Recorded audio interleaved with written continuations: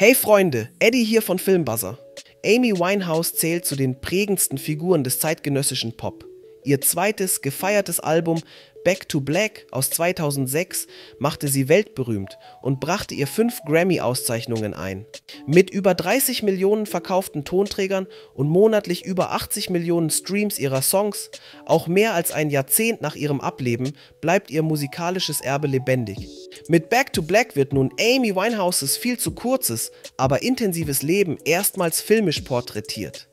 Der Film kommt am 18. April 24 ins Kino. Unter der Regie der britischen Filmemacherin Sam Taylor Johnson, bekannt für Werke wie Nowhere Boy und Fifty Shades of Grey, wird das Leben der einzigartigen Künstlerin mit Respekt und Direktheit auf die Leinwand gebracht.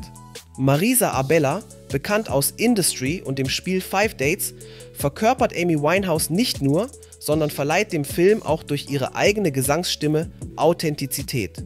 In weiteren Rollen glänzen Jack O'Connell als Blake Fielder Civil, der eine bedeutende, doch tragische Rolle in Amys Leben spielte, Eddie Marson als Amys Vater Mitch und Leslie Manville als Großmutter Cynthia. Das Skript stammt aus der Feder von Matt Greenhawk, bekannt für Control, und produziert wurde der Film von Monumental Pictures, bekannt für Ein ganzes halbes Jahr. Back to Black entstand in enger Zusammenarbeit mit der Familie Winehouse und der Universal Music Group. Worum geht's in dem Film?